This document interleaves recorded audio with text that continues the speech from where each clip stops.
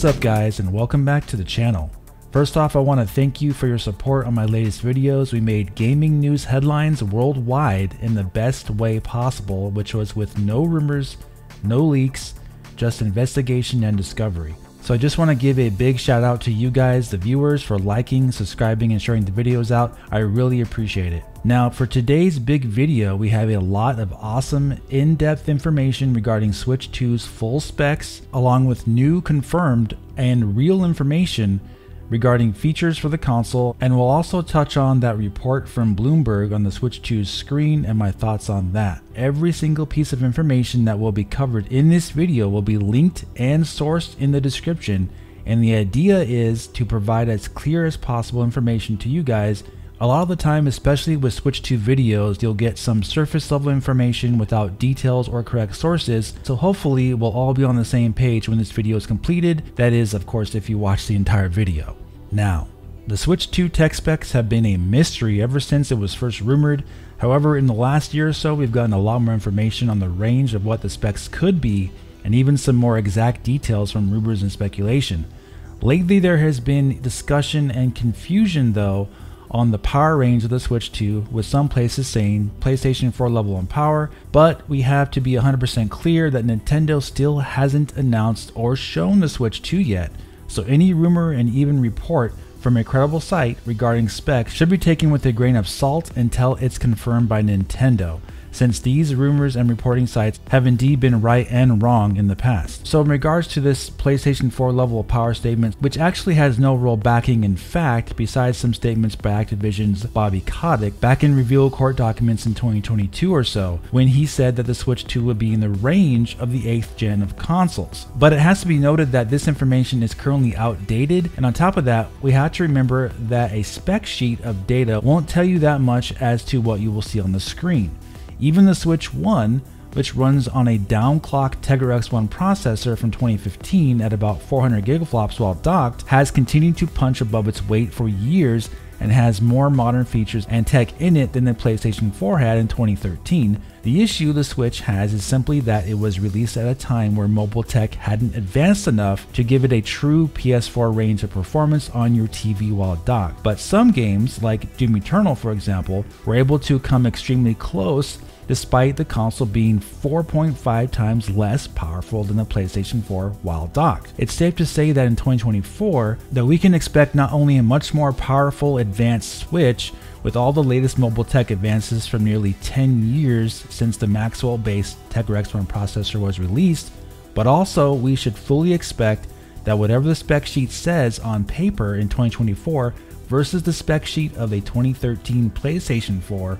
won't be comparable at all, especially from the mobile side. In addition to this, Nintendo Switch 2 has a major advantage of being a closed platform with its own singular APIs and software for developers to focus on and will not just be a portable PC like the Steam Deck and the Ayaneo. Even though those are amazing devices in their own right, they are more of a jack of all trades, master of none due to their inherent open ended PC nature. The Switch 2 will also be a device that will be able to upclock itself to likely a much higher level of speed while docked, and with the latest fabrication process of 4 nanometers being the new standard for mobile devices as of 2023, the Switch 2 has the potential to not just double clock speeds while docked due to this, but my estimate is that they'll be able to get around 2.5 times the clock speeds while docked, giving it a much wider range of performance on your TV, which was something Switch 1 was more limited in due to the high heat heat and high power consumption of the original 20 nanometer Tegra X1 processor, which every Switch has to basically be tied to and limited by, even with the revisions besides battery life since there was no Pro model of the Nintendo Switch. So with the Switch 2 in 2024, Nintendo has an amazing amount of options to choose from to power the console. However, first up, before we get into the specs, we have to clarify a often misreported and misunderstood statement by Nvidia CEO Jensen Huang about their partnership with Nintendo. And keep in mind clearly that I personally actually do prefer Nvidia over AMD at this point since they undisputedly make the best GPUs on the market and I personally own an RTX 4090, but for the sake of clarity and the specs discussion, I simply have to point this out or this wouldn't be an honest video talking about the Switch 2 specs. So bearing that in mind, back on November 10th, 2016, right after Nintendo announced their partnership with Nvidia to provide the Tegra X1 for the Switch, Nvidia had an earnings call with their investors and there was a lot of excitement, of course, at the time for Nvidia to be partnered with Nintendo for the first time. And while Jensen, the CEO of Nvidia, was taking questions about this partnership with Nintendo, he was talking about how exciting the potential of the Switch was, but at the very end, he said the main part, which many people reported incorrectly, mind you, and I'll show the exact quote on the screen here, but in terms of the Nintendo Nvidia partnership, he said, and I quote, I think this is a relationship that will likely last two decades, and I'm super excited about it. That's basically all he said. So he used the words and phrase I think and the word likely, which indicates that there was no partnership confirmed beyond just the Switch 1. Now, that's not saying they won't use NVIDIA for Switch 2 at all, of course, and like I said, I would prefer they did stay with NVIDIA at this point, but it's not a promise backed up by a contract that we know about. More so, it was an assumption that Nintendo would stay partnered with Nvidia for years after the Switch was gone. Now, of course, if Nvidia announced a partnership with Nintendo publicly, like how Microsoft did with Nintendo about bringing Call of Duty to Nintendo in the future, it would have been a different story. But generally speaking, due to how technology advances, especially with mobile devices, normally it's a case by case basis for vendors to decide which tech they want for a new device. Just like with Sony and Microsoft beforehand, they went with Nvidia for one console each and then moved to AMD because AMD has provided them with exactly what they needed for their consoles in the way that they wanted it. So with that out of the way, we will be exploring two options for the Switch 2 in terms of the SoC. Since no doubt Nintendo has likely examined many possible chips at this point, however, and this is a disclaimer,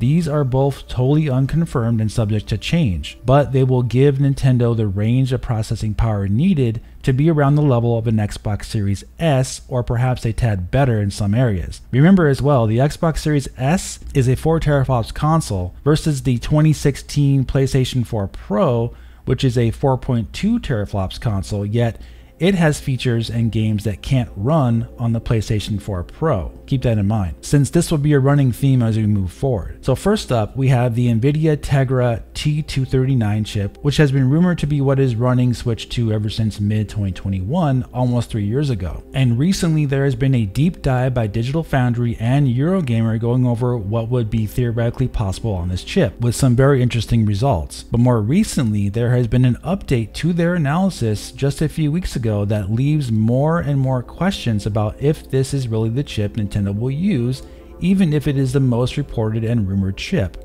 It was revealed that the T239 chip does not actually have NVIDIA's deep learning accelerator, which would have given the Switch 2's SoC essentially free DLSS with no hit to performance. But as you can see from this diagram I'm showing here, it may not have been a viable method to use that due to the cost and the increased size of the chip or MCM, which stands for multi-core module, since these chips that the T239 are derived from were designed for robotics and driverless cars with NVIDIA's Jetson AI modules running it. So with no deep learning accelerator, the T239 wouldn't be able to produce any content using DLSS at 4K, despite rumors from VGC saying that Switch 2 was running an Unreal Engine 5 Matrix demo at 4K with DLSS, which in turn, that report was said as being false by Nintendo President Furukawa shortly after that, which is very interesting since from a tech standpoint,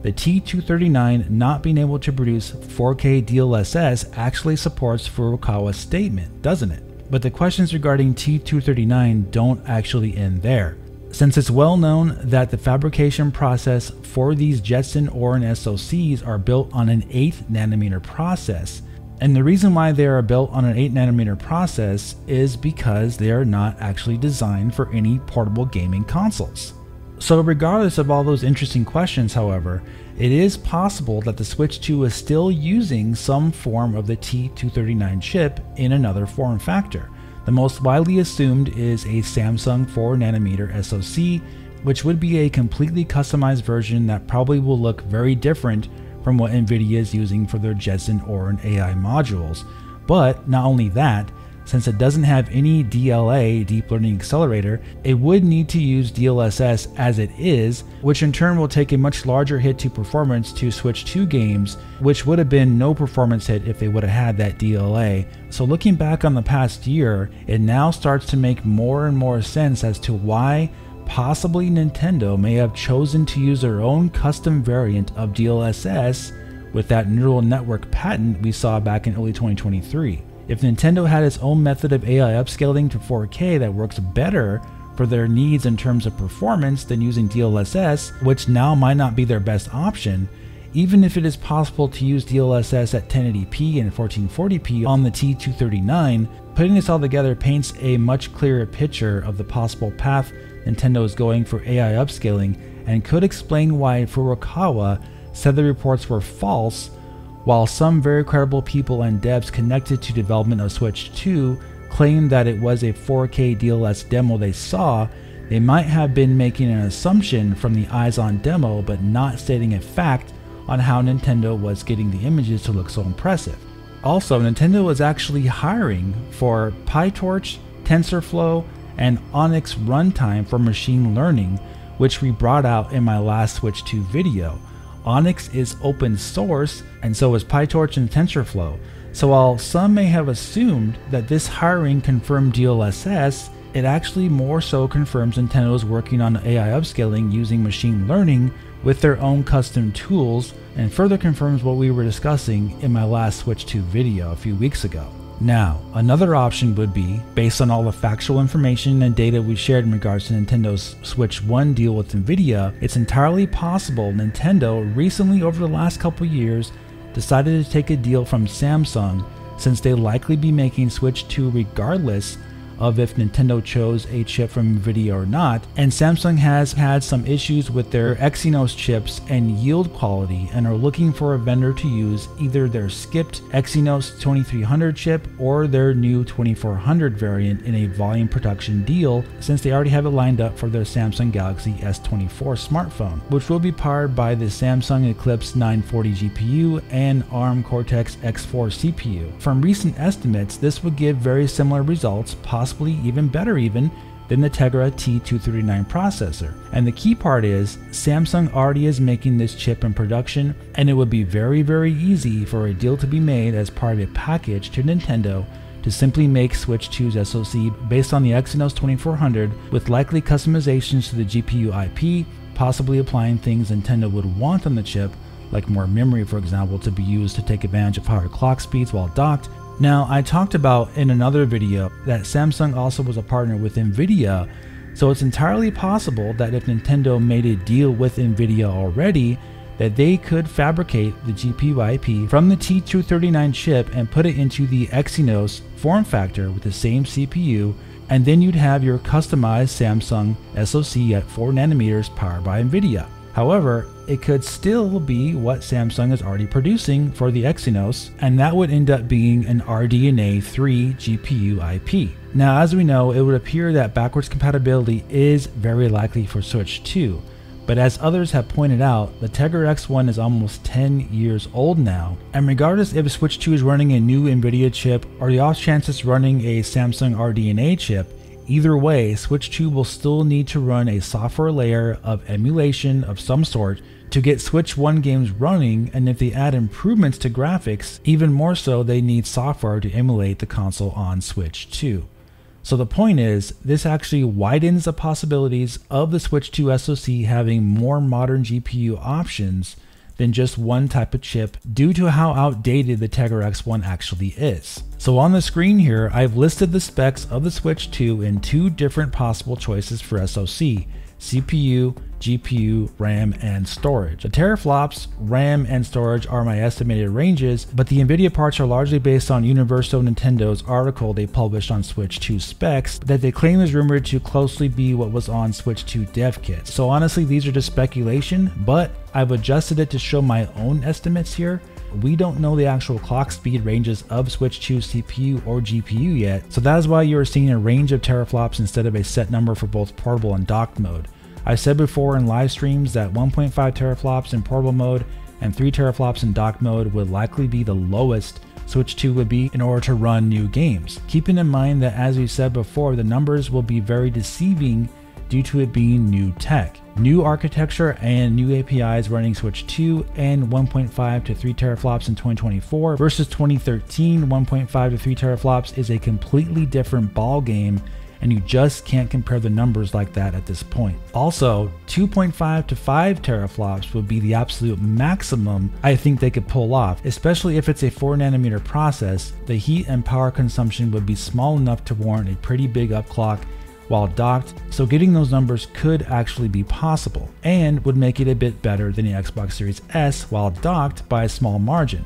However, I will say at this point, guys, this is my absolute best possible speculation on what Nintendo is doing with Switch 2 and its specs. Either way, I think the console is going to be hitting above its weight on paper, so we just need that big reveal to finally see the games in action to make that final judgment.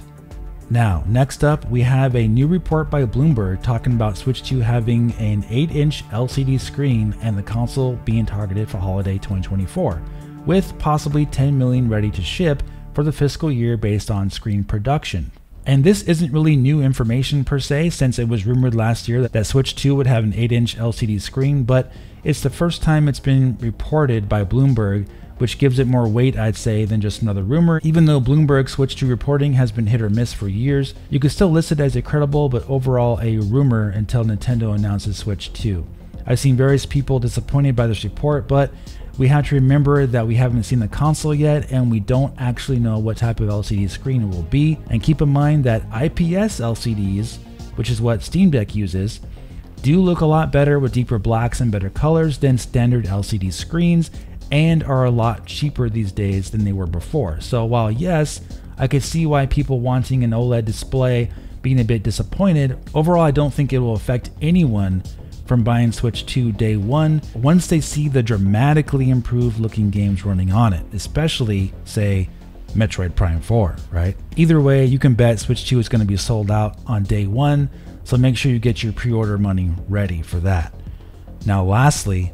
we have a new feature for Switch 2 that is basically confirmed as real, and this was first discovered by Nash Weedle as a patent Nintendo's working on. And normally these days I don't cover patents, but this one is backed up by Nintendo themselves hiring for the same thing on their job page. And the patent shows a multimedia app that will allow users to select various forms of content, including mentioning anime in the patent, which means that this is some kind of entertainment app for movies and TV shows. And then when you go over to Nintendo's job page, they just so happen to be hiring for multimedia technologies, including streaming apps for a massively used gaming console. So it seems like this is confirmation that Nintendo will be using Switch 2 for more than just games, and they'll have an easy to use all in one app to watch your movies or various subscription service that you have access to. But it seems like Nintendo is looking to make this a substantial upgrade over Switch 1 by including all these things and if backwards compatibility is also included as it would appear, then the rumored price of $400 would really feel like a much better value I'd say overall.